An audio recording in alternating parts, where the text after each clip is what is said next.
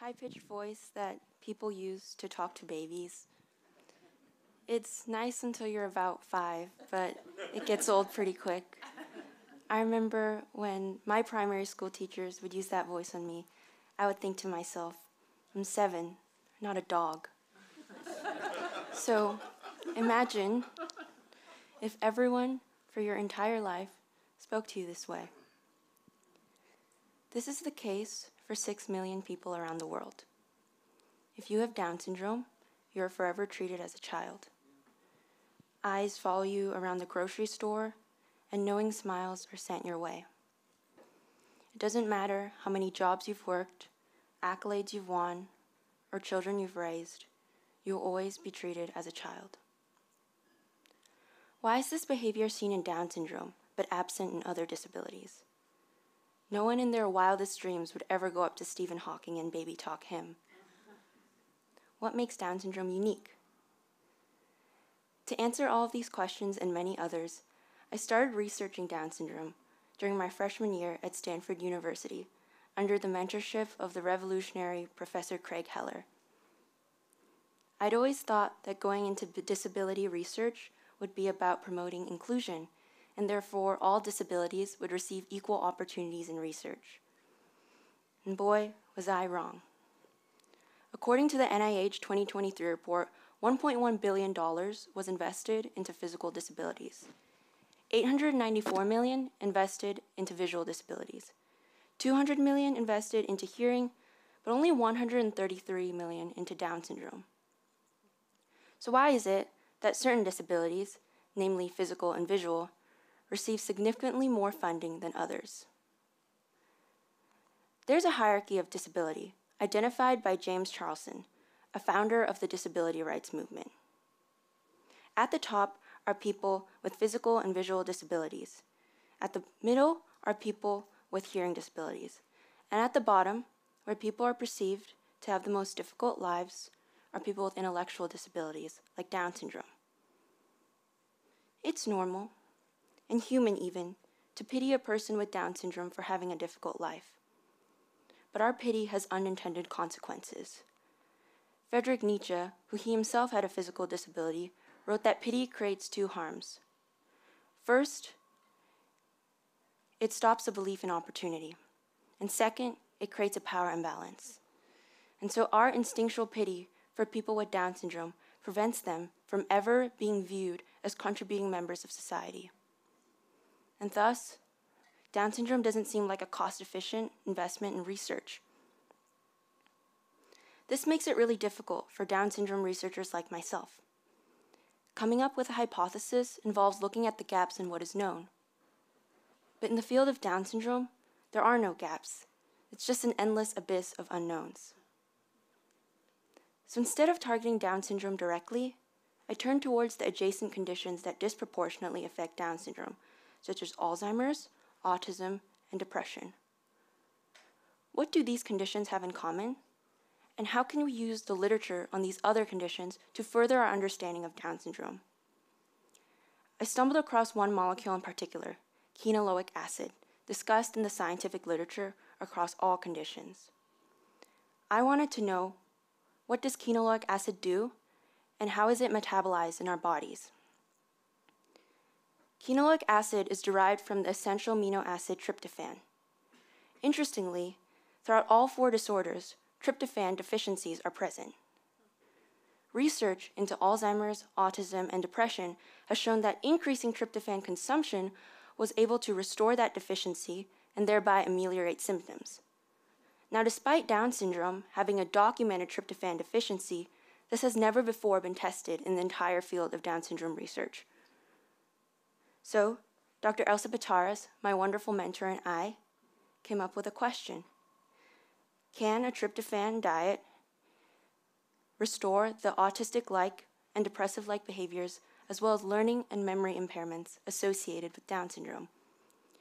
We tested this on a Down syndrome mouse and administered cognitive and behavioral tests before and after a tryptophan diet to see if improvements result.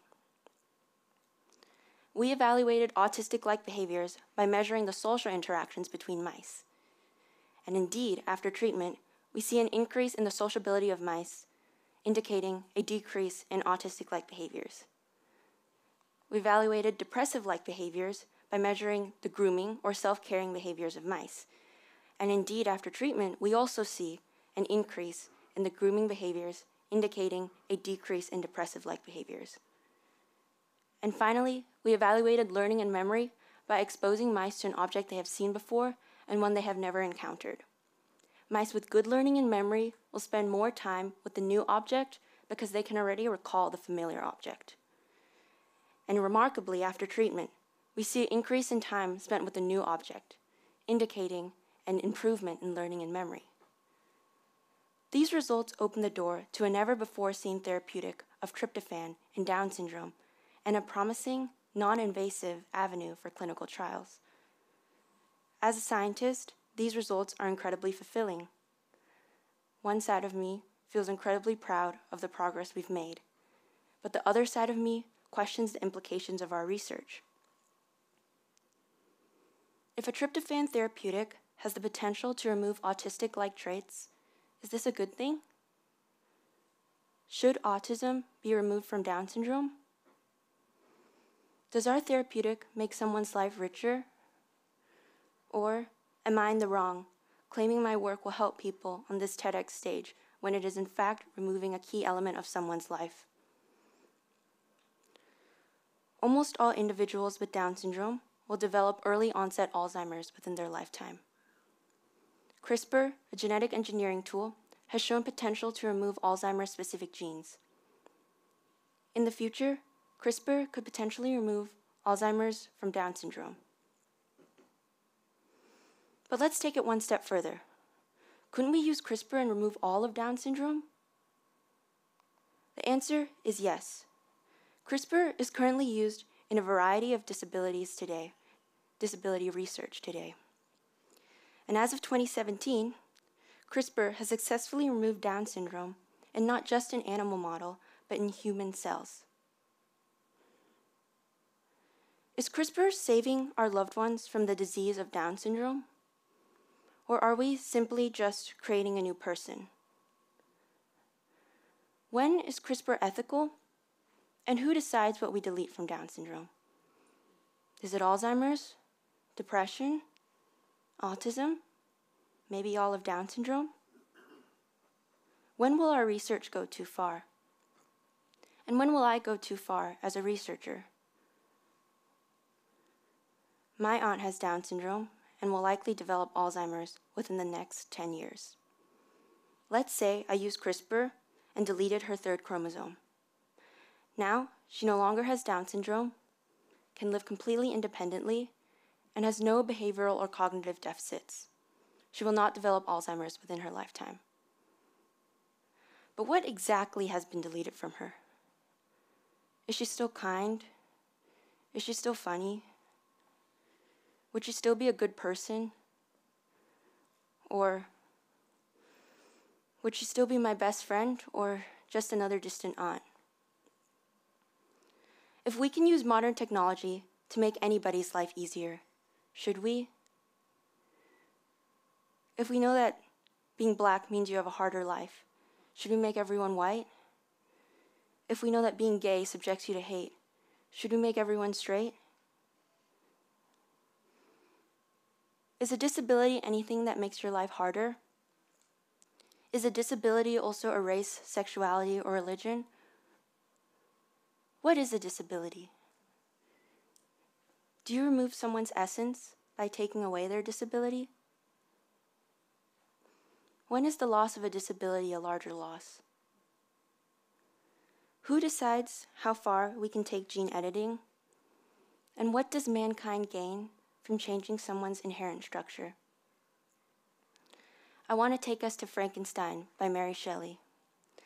A mad scientist was completely consumed by how he could create life from dead tissues and bones. His creation awoke to life a complete newborn in the world. A new soul was created out of a scientific endeavor. So when we gene edit a person, do we create a new soul?